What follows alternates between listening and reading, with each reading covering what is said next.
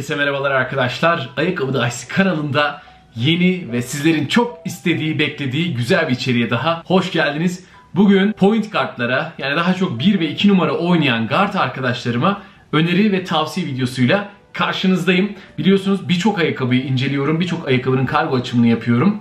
Eğer ki kanala yeniyseniz kesinlikle abone olun. Çünkü bu tarz içeriği başka yapan yok. Ben de zaten oldukça güç bela yapıyorum. Biraz desteğe ihtiyacım var. Kanala abone olmayı, like ve yorum atmayı unutmuyorsunuz. Bu bahsetmiş olacağım ayakkabıların neredeyse de hepsinin detaylı incelemesi var. Birkaç tanesinin şu an editleme aşamasındayım ve hepsinin ama yine kargo açımları var. Bu sayacağım ayakkabılar hakkında daha detaylı bilgi talep ediyorsanız, merak ediyorsanız mutlaka ve mutlaka o incelemelere gidin. Ayakkabının ismini yazabilirsiniz kanalıma. Kanalımdaki videoları tıklayarak oradan ulaşabilirsiniz.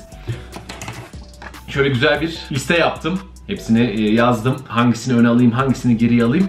Direkt arkadaşlar 1-2-3 diye bir numaralandırma yapamadım. Şöyle yaptım. 2'ye böldüm. İlk çok uygun olacağını düşündüğüm 5 ayakkabı var ve daha sonra alırsanız yine mutlu olacağınız fakat belki direkt bir guard ayakkabısı olmayan yine öneri ve tavsiyeler olacak. Burada da yaklaşık 3-6 tane ayakkabı var. Yani dolayısıyla bu videoda 11 tane ayakkabıdan bahsedeceğiz. Bunların hepsini de şu anda piyasada bulabiliyor oluyorsunuz. Yani yeni incelediğim ve yeni piyasada olan ayakkabılara dikkat etmeye çalıştım. Piyasada olup da benim incelemediğim çok nadir ayakkabılar oluyor. Bazen bazı ucuz modeller veya çok pahalı modelleri hemen alıp inceleyemiyorum. Ama onun dışında bulabileceğiniz neredeyse bütün ayakkabılar burada bahsedilmiş olacak. Evet şimdi guard arkadaşlarını düşündüğüm zaman neye ihtiyaçları var, ne beklerler, ne isterler.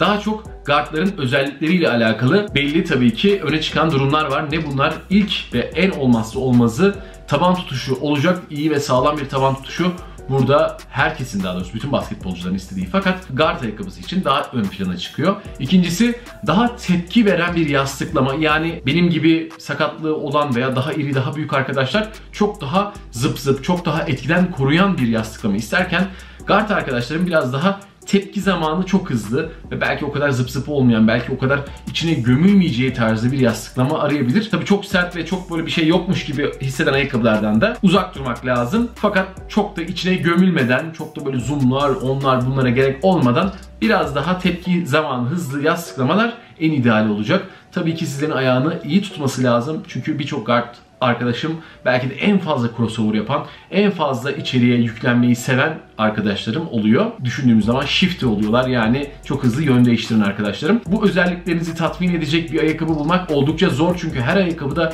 biri varsa biri yok oluyor, biri eksikse biri fazla oluyor. Dolayısıyla bu listedeki ayakkabılar bence sizleri mutlu edecek güzel ayakkabılar. Yani herhangi birini alırsanız mutlu olacağınızı düşünüyorum. İlk başta ikinci kısımdan başlayalım. Yani aslında belki fazla uygun olmayan ama aldığınız zaman mutlu olacağınız ayakkabılarla başlayalım. O ayakkabılardan ilki ve belki de bu listedeki en ucuz ayakkabılardan biri olan Yanis Immortality modeli olacak. Yanis'in ismini taşıyan imzalı ayakkabılarından fakat bütçeli versiyonu. Daha henüz belki incelemesini yapmadım. Fakat siz bunu izlediğiniz zaman detaylı performans incelemesi de olmuş olabilir. Arkadaşlar oldukça güzel ve keyifli bir ayakkabı. Çok çok hafif ve inanılmaz güzel bir taban tutuşuna sahip. Fakat yerden biraz yüksek hissedeceksiniz. Yastıklaması biraz belki fazla yumuşak gelebilir ama bence guardlar için çok ideal bir tepki zamanına sahip. Ve üst yüzeyde oldukça ferah, havadar. Fakat tabii ki çok hızlı yön değiştiren arkadaşlarım için bu ayakkabı belki uygun olmayabilir. Çünkü zaman zaman ben ayağımın dışarıya çıkacağını düşündüm. Yani bu hissi yaşadım. Eğer ki çok yön değiştiren bir oyun kurucuysanız, guardsanız bu ayakkabı sizler için pek de uygun olmayabilir. Fakat onun dışında hafif bir şey arıyorsanız, çok havadar bir şey arıyorsanız, iyi bir taban tutuşu ve rahat bir ayakkabı hissi arıyorsanız bence bunda rahat edeceksiniz. Freak 3'e nazaran Yanis Immortality modeli çok daha güzeldi benim düşüncemce. Ve bir diğer tavsiye edebileceğim ayakkabı Russell Westbrook'a ait Why Not Zero 0.4 ayakkabısı. Yine bu senenin güzel ayakkabılarından bir tanesi şöyle arka tarafında da kendileri görsel olarak şov yapıyorlar. Görünüşünü beğendiğim, hoşuma giden ayakkabılardan oldu. Tabi performansı benim hayal ettiğim ve istediğim kadar iyi olmadı. Özellikle Wine 0.3 varken 0.4 biraz sönük kaldı maalesef. Fakat yine aldığınız zaman sizlere yardımcı olacağını düşündüğüm oldukça iyi bir tepki veren yastıklaması, ideal bir taban tutuşu ve ayağınızı iyi kitleyebilecek bir ayakkabı. Biraz da bilekli yapısıyla belki bileklerinize de ihtiyacı olan korumayı ve destek hissini sunabilir. Biraz yerden yüksek hissediyorsunuz fakat aldığınız rahatlık hissi ve yastıklamayla bence bunlar çok rahat telafi edilebilir. Özellikle içeriye düz yüklenen arkadaşlarım için çok ideal. Fakat çok fazla crossover yapanlar tabii ki yine o kadar rahat etmeyecektir. Tabii eğer elinizde varsa eğer almak istiyorsanız yine bu senenin güzel tercihlerinden biri olacak.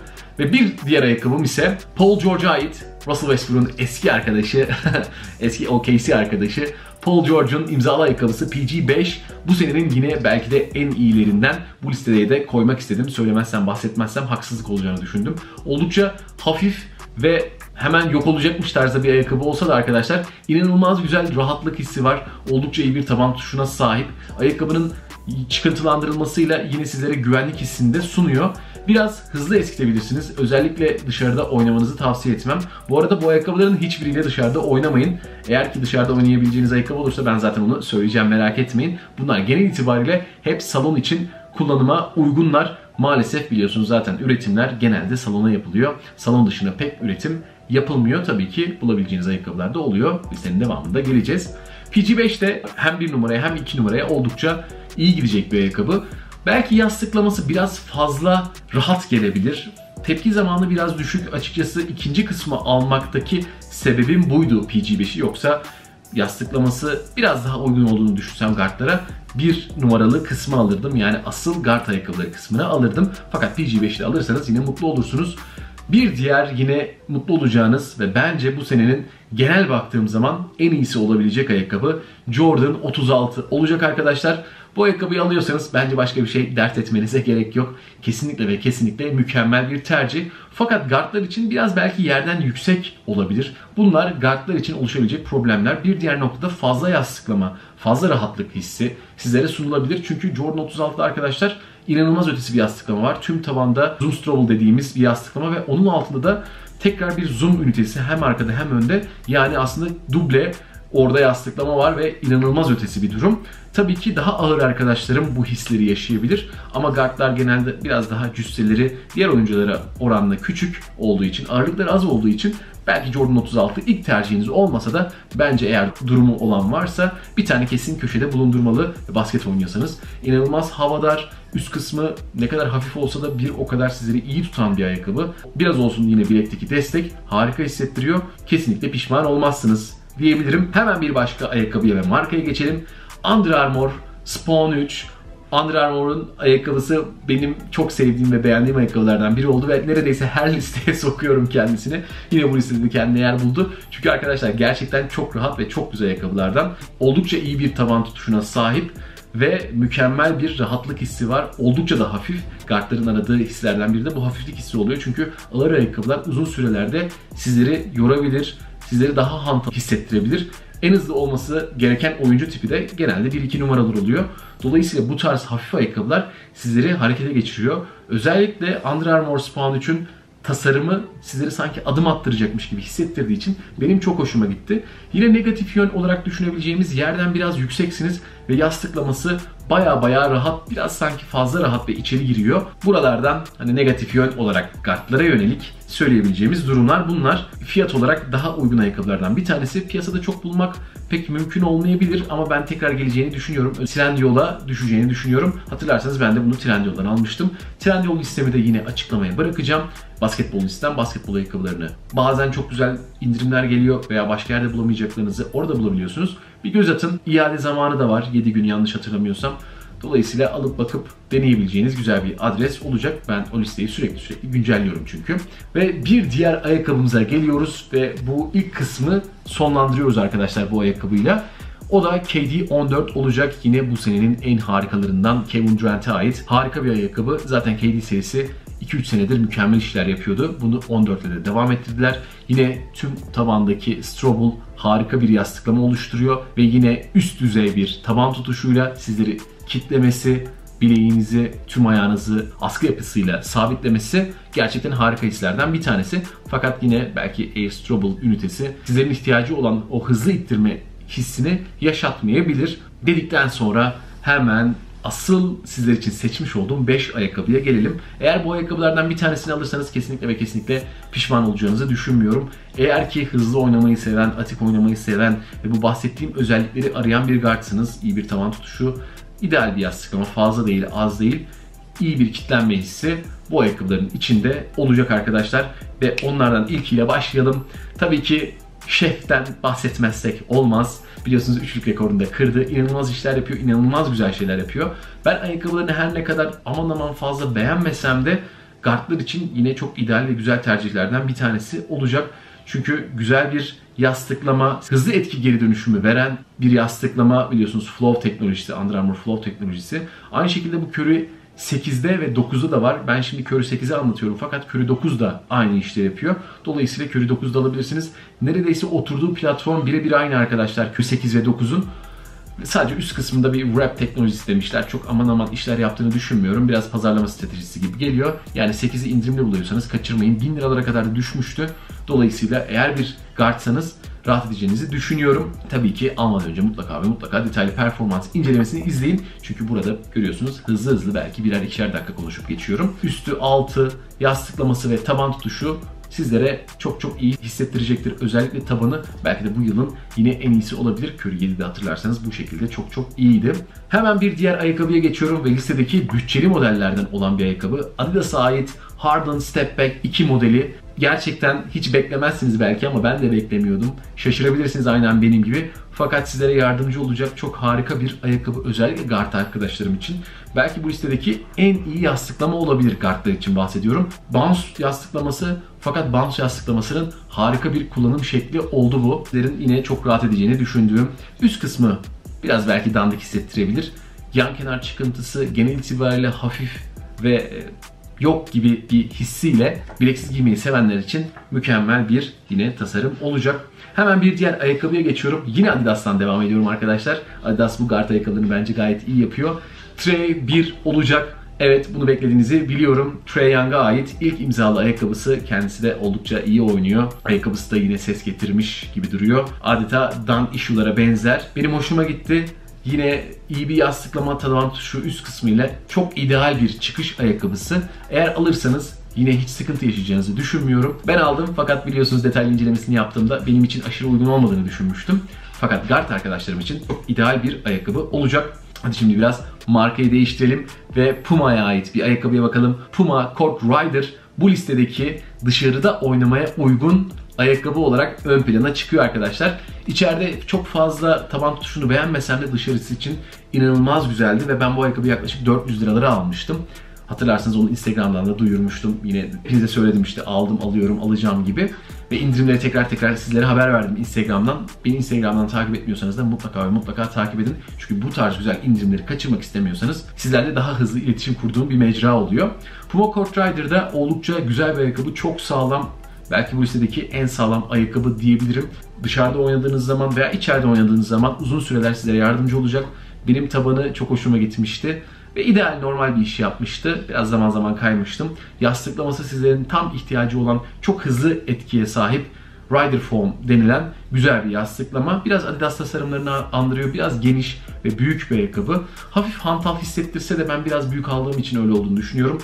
Dolayısıyla tam numaranızı bulduğunuz zaman size çok yardımcı olacak güzel bir tercih olacak Puma ve Puma'yı da tebrik ediyorum. Genel itibariyle yaptığı bütün ayakkabıları artık ben beğenmeye başladım. Biraz sadece kaç numara tercih etmelisiniz orası riskli oluyor. Bazen dar bazen uzun geniş yapıyor. Dolayısıyla orada keşke deneyip alma imkanımız olsa ama biliyorsunuz hiçbir yerde doğru düzgün satılmıyor. Gidip deneyebileceğiniz ancak internetten almanız lazım. Evet hemen yine tekrar farklı bir markaya geçelim. Şu an bakıyorum da arkadaşlar bayağı bu asıl güzel ayakkabıların markaları farklı farklı olmuş. Hem Guard deyip hem de Kyrie'ye yer vermemek olmaz biliyorsunuz. Kyrie ayakkabıları da yine bu listede kendine yer buldu. Hepsinden tek tek bahsetmek istemiyorum. Kyrie Low 4 veya Kyrie 7 şimdi yeni Kyrie 8 Infinity olan versiyonu çıkacak. Dolayısıyla herhangi bir Kyrie ayakkabısı aldığınız zaman Flight Trap'i de buraya sokabiliriz tabii ki. Mutlu olacağınızı düşünüyorum. Guardlar için Nike'ın yapmış olduğu en ideal ayakkabılardan. Harika bir taban yapısı, taban tutuşu. Çok ideal bir yastıklama zoom turbo ünitesi. Çok güçlü bir üst kısım. Bilekli istiyorsanız Kyrie 7, bileksiz istiyorsanız low versiyonları sizlere çok yardımcı olacak. Ve bu listedeki tabii ki en ideal, en güzel ayakkabılardan bir tanesi guard oynayan arkadaşlarım için. Baktığım zaman da en fazla tercih edilen ayakkabılardan. Kendisi her ne kadar şu sıralar basketbol oynamasa da ayakkabılarının tercih sıklığında pek bir şey değişmiyor. Yine herkes kare ayakkabısı almak istiyor. Hem çıkardığı renklerin farklılığı hem de tasarımının kendine has ve münhasır oluşu tabii ki tercih edilmesinin en büyük etkilerinden oluyor olabilir. Keşke biraz daha basket oynamaya geri dönse diyorum. Özledik kendilerini. Ve bu listedeki son ayakkabıma geçiyorum. Bu kaçıncı oldu? 6 orada, 6 burada bahsediyorum. 12. ayakkabım oldu arkadaşlar.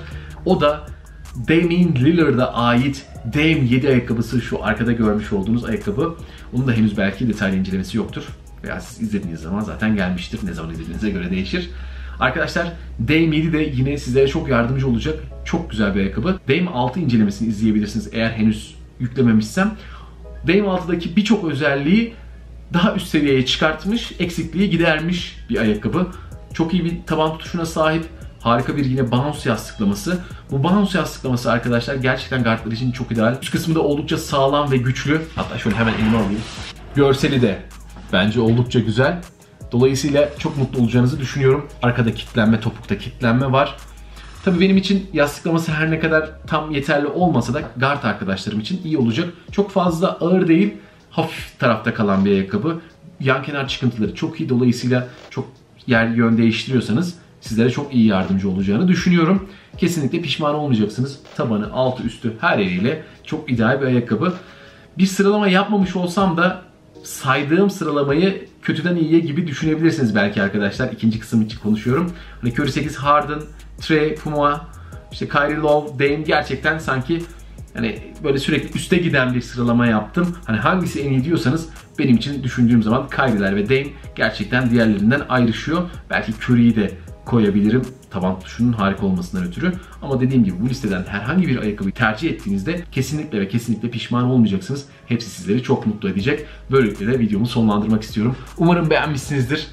Üstümü de, videoyu da, ayakkabıları da sizler için arkadaşlar olabildiğince güzel içerikler hazırlamaya çalışıyorum. İnanın benim çok vaktimi, zamanımı ve enerjimi alıyor. Bunun için yapmanız gerekenler çok basit. İzlemesi bedava zaten.